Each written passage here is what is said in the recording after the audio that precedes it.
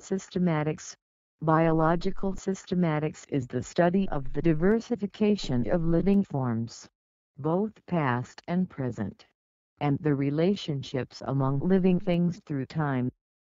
Relationships are visualized as evolutionary trees synonyms, cladograms, phylogenetic trees, phylogenies. Phylogenies have two components branching order showing group relationships and branch length showing amount of evolution.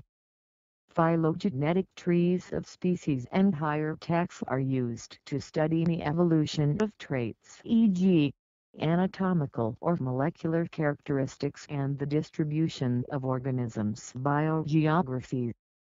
Systematics, in other words, is used to understand the evolutionary history of life on Earth.